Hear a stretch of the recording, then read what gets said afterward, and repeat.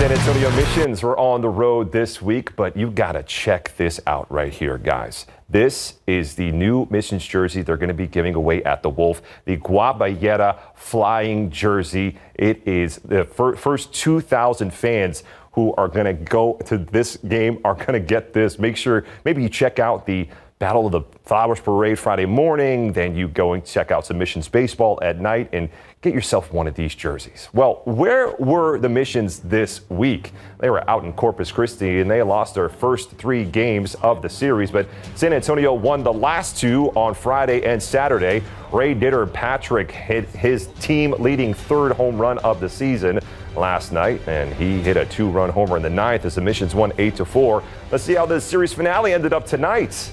Missions lost 2 to 1 to the Hooks.